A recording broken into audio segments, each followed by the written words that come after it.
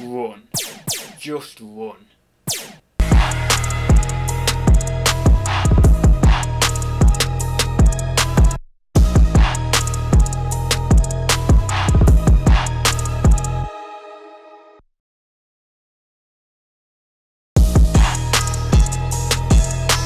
Hi guys, it's Adam and welcome to another video. So, I got a job lot from the auction that was like a toy job lot and uh, I paid £10 plus commission for it, which is like the minimum bid at the auction house I go. It's uh, I suppose it's a little bit more of an affluent auction house compared to some of the more general household auction houses where their minimum bids are like £2, £1, £5, etc. So it is a bit annoying because you can never get anything below that even if like certain lots aren't brilliant. But there was this one lot, this uh, toy job lot kind of thing, that I wasn't sure whether to go on or not because there wasn't huge uh, amounts of stuff in there or anything. And obviously I'll show you it in a sec. Um, but no one was bidding at £10 and I thought, you know what, I'll go on it and... Uh, you know, hopefully I make a little bit of money on it. But I thought I'll just bid and uh, and we'll see. So what I'm going to do is share with you some of the items. Um, and you guys can determine whether I've done right or wrong with this one. Um, I think, I mean, obviously I'm going to make some money on it. But it's one of those lots, I think, that... And sometimes you do pick up these lots. You think, um, oh, you know, should I have bought it or shouldn't I? And sometimes you think to yourself, or you know, you, you put yourself down a little bit because you're thinking, oh, you know, maybe I shouldn't have got that or whatever. But the fact is, I'll still make some money on it, so I thought I'd share it with you guys, and uh, obviously you guys can decide for yourself whether you think it's a, a decent purchase or not. But with that being said, I will get on with the first item. So, first item is this, um, what is it? The Incredibles 2 project Projection Power Kit, and I typed this into eBay I could not find it on there. I don't even know why, um, but I literally couldn't find it on there. I then scanned it into Amazon, um, and I found it on there, but there's no sales rank on Amazon. Um, and on Amazon, it was at twelve ninety nine. I'm guessing that's for retail on it. Um, so what I'll probably do, I definitely won't send, it into Amazon because it's not got a sales rank or anything. But I'll just whack it on eBay, probably around that twelve ninety nine, maybe plus my postage on um, and hopefully, obviously, someone will pick that off. But I don't know, maybe it's not got too much of a market for it because, as I say, there's none on eBay already and on Amazon it's not got a sales rank which is a little bit suspect. So yeah we'll see on that one. It is brand new and sealed or I would imagine it's brand new and sealed because it's got these little bits of, uh, of tape on here and they look like they very much could be the factory seals. Yeah I would I would have said that that tape there is the factory seal. Um, so yeah, that's brand new and sealed anyway, so it's just like a projection power kit. I would have thought there might be a little bit more money in this, because obviously The Incredibles 2 hasn't come out that long ago. What was it, like last year or something? So, yeah, I don't know. It's, it's just odd that there's not much information out about this. Uh, it's like nowhere, nowhere to be found, really, except for that one little listing on Amazon. So, yeah, that's that one there anyway. So, next I've got this Waddington's Dentist game. Now, obviously I'm going to have to check if this is complete. I've had a mixed kind of experience with uh, board games at the auction house. Last time I got a job lot of board games, do you remember that big stack of board, board games I got probably in January or something? Um, I had a pretty good um, kind of bag with that. It wasn't necessarily a mixed bag or anything. Pretty much all of those were complete. But then in the past, I've had other job lots where um, it's been a bit more of a mixed bag or certain ones haven't been complete and stuff. So I'll have to double check that this is complete. If it is complete, it doesn't seem to go for a lot of money. One sold for like, I think it was ten ninety nine or something. Um, so not huge money, but still, it's going to get me some money back from the job lot. Um, so yeah, it's one I've not seen before as well. I've never seen this Waddington's Dentist. Um, so that made me think, oh, it might be a little bit more valuable because I've not seen it. But yeah, doesn't seem to be just pretty standard board game, really. So next in the box was this uh, big bag of uh, potato head parts, Mr. Potato Head. There's like four or maybe even five I think four, um, like, you know, body parts, like the big body potato parts, and then loads of different accessories and stuff in there. You can see there's more accessories at the bottom here. Now, I've not sold these in quite a while. I would imagine a bundle like this must be like 20 quid, you know, 20 quid plus postage or something. But as I say, I've not really sold these in that long, so I'd have to double check on these. I didn't do any research into this. Um, but I have sold bundles with, with less in than this before for about 15 to 20 quid, I think. But as I say, the market might be a little bit different now because that was a while ago. Um, so yeah, we'll see on those. But I think these are probably one of the best items out of the lot, really. So, um, you know, if I can get 20 quid for them, then I'm pretty pleased with that. Next, we have a TARDIS. Obviously, it's the... Uh, Tennant Eccleston TARDIS. I probably can't see him there very well. Um, but yeah, and it's the I don't don't know whether it's the uh, is it do we call it the flight control TARDIS? I think it's the flight control TARDIS. I'm not sure, but it's not when I turn it on and off. It's not got any juice in it, so yeah, I'm not sure. I mean, there's a battery compartment there, so hopefully one, once I open that, put some new batteries in, it'll be working. Um, although I don't know because sometimes some of these TARDISes just don't work for whatever reason. But I think I could still sell it even if it doesn't work with like if I bundle it with a couple of figures. I'm sure I've got a couple of figures lying around. Um, so if I bundle it up with a couple of figures, I can still probably just sell it and someone would have it for display. Obviously, I'd mentioned that it wasn't working. I think if it works, I think if you bundle it with like um, Rose and the Doctor, you'd probably get about 20 quid for it. So, um, yeah, if it does work, there should be some money in that. If not, I reckon even bundled with another couple of figures, even if it doesn't work, it should be about a tenner. So, yeah, pretty happy with that one anyway, so that's pretty decent. This was in here, I did a quick bit of research on this before. It's less than a tenner, so don't really know what I'm going to do with that. I'll either charity shop it or car boot it or something, put it in a car boot pile and just get a couple of quid back out of it. But, yeah, I'm probably not going to list it because it's less than a tenner. But kind of knew that when I saw it, I thought, oh yeah, it's probably not going to be worth my while listing it. This thing was in the lot, weirdly enough, which has no relation to toys whatsoever.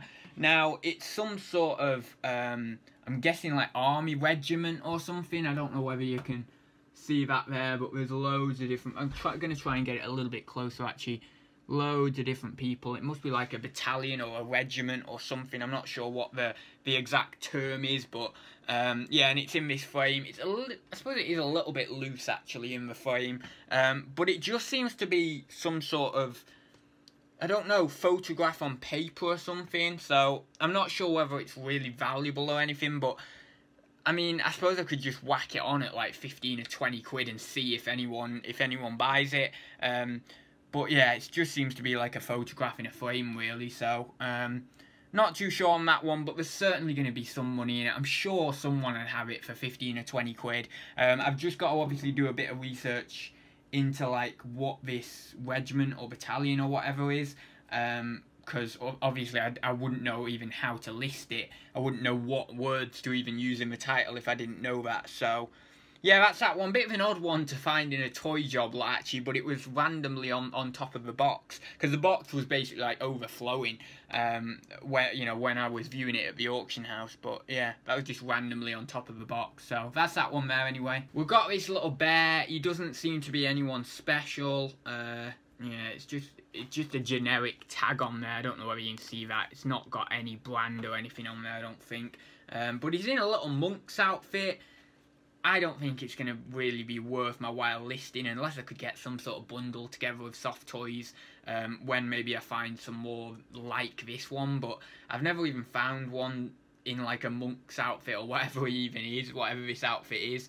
Um, so yeah, I don't know, I might just put him in car boot pile or something. Then we've got a couple of these dolls. Now this one looks like one of those uh, Disney dolls. You know, we did those, those Disney plastic dolls, but I can't find like anything that says Disney on it. There's no there's no place where where there's a Disney. It's really odd. Like there's just nowhere on the dot. Maybe back of the ah wait yeah yeah back of the head it says uh, copyright Disney. So yeah, it must be one of those Disney dolls. Obviously it's a licensed one. So I don't know. There might be something in that because I, I, have seen some of these dolls. Um, on eBay before. I don't know uh, whether certain ones go for like decent money or whether other ones don't go for as decent money, but I'm sure there some of these that do go for over a tenner. So if I'm lucky, this one might be uh, around a tenner. If it's not, if it's like well under a tenner, then it can probably just go in a car boot pile or something again. Because uh, I'm I'm just not bothering. You know, I, I don't bother listing. So if if things are like five, six quid or whatever, I'm just not listing it. It's not necessarily worth my time packaging it up and stuff. You know, it's arguable. It's arguable if uh, even ten pound items are, are worth my while at this point, really. And I am starting to try and slowly get into more 15 and 20 pound items and up um, rather than the 10 pound items as well because it is like um, you know you think to yourself right if I want to do let's say a hundred pound a day then that's 10 10 pound items isn't it whereas it would only be five 20 pound items so or, or if it's if you're doing five pound items that's 20 five pound items so that's kind of my logic behind it i'm trying to just get a bit um, you know, higher sort of value in terms of average selling price and average list price. So yeah, it's just not really worth my while. So I you know, maybe I could bundle these two up. I'm not sure. Maybe I could bundle these two up. But this one isn't a plastic one. This is like a different one. I don't know whether it's Disney or not. If this is Disney, then maybe I could no, there's no Disney on it, so yeah, not sure really. Not sure what I'll do with them, maybe car boot pile. And then there is this old leather belt. Now this might be worth listing. I've never really dealt with belts before, so I wouldn't be able to give you a price. But this looks like it could be worth listing. I'm, I'm assuming it's leather anyway, I don't know. It might not be genuine leather, but um, yeah that might be worth something because some I know some belts do actually do really well. Like there's certain belts that you can get really good money for. So yeah, I mean, as I say, I've not really had them before, but I have seen that certain belts can do well. So, yeah, not sure about that, but it, was just in the box. It could be like just a... It's obviously not a modern toy one, because the modern toy belt kind of thing, you know, like cowboy belts and stuff, will be really cheap, like, uh, material. Um, but it might be like an, a vintage uh, kids toy one or something. But even so, even if it's just that, I think they would still go for some money at least. Um, but yeah, so that's that one there anyway. And then finally, this Action Man game. Now, I thought this might be worth a little bit more than it is. It's uh, the Action Man, yeah, it's just the Action Man game. Got a little bit of writing and stuff from some kids on here, uh, when we've had it in the past, of course. Um, but yeah, it seems one sold recently for 17 quid, which is more like what I was thinking. I was thinking maybe I could get 20 quid for it. But then another one sold for like 12 quid, so I suppose it's kind of in that 12 to 17 pound range. Maybe I could put it on for 14.99 plus a bit of postage and uh, hopefully it'll go for that. Um, but yeah, I was I was a little bit underwhelmed when I saw you know a few a few were listed for twelve quid and one had sold for twelve quid. But as I say, one has has sold for higher than that. So maybe I could just go a little bit higher than the ones that are currently listed at twelve quid and go for maybe fifteen quid and see. Um, but yeah, another one again. I'll have to make sure this is complete um, and hopefully it is. And then obviously I could charge a fourteen ninety nine. If not, I'm sure I could either sell it for parts or I could, you know, just charge a little bit less, um, even if there's a couple of bits missing or something. Um, so yeah, that's that one, and that is pretty much everything. So, you know, I don't think I've done terribly out of this job lot, but this is like one of the, job let's say, out of this entire job lot, like sales value, I've probably got what, like 70 quid there or something, like around that, maybe a little bit more, maybe a little bit less. Um, out of like, what, a 13 pound purchase, it's not terrible, but considering that I've got like seven items or eight items that I've got to list, generally out of like a £10 job lot now, like I've got, I had those papers for £10, which I got 400 quid out of in terms of sales value, um, you know, or listed value.